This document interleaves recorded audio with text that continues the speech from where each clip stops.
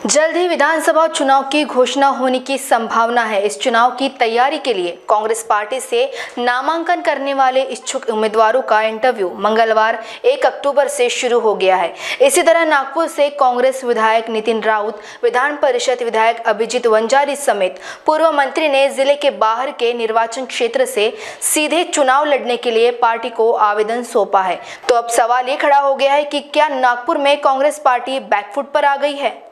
Maharashtra Congress committee की ओर से इच्छुक उम्मीदवारों द्वारा चुने गए निर्वाचन क्षेत्रों की सूची जारी की गई है। इसमें विदर्भ के कुछ इच्छुक उम्मीदवारों के नाम सामने आए हैं। लेकिन चौंकाने वाली बात यह है कि उत्तर नागपुर विधानसभा क्षेत्र के मौजूदा विधायक नितिन राउत ने अपने निर्वाचन क्षेत्र से चुनाव न लड़कर वर्धा या यवतमाल ज़िले के निर्वाचन क्षेत्रों से चुनाव लड़ने के लिए पार्टी को आवेदन दिया है। इसके अलावा विधान परिषद विधायक अभिजीत वंजारी ने गढ़चिरौली या चंद्रपुर ज़िले के निर्वाचन क्षेत्रों से और पूर्व मंत्री सतीश चतुर्वेदी ने गोंदिया या भंडारा ज़िले के निर्वाचन क्षेत्रों से उम्मीदवारी मांगी है। लेकिन नेताओं के इस भूमिका से नागपुर में तरह तरह की चर्चाएँ चल रही है।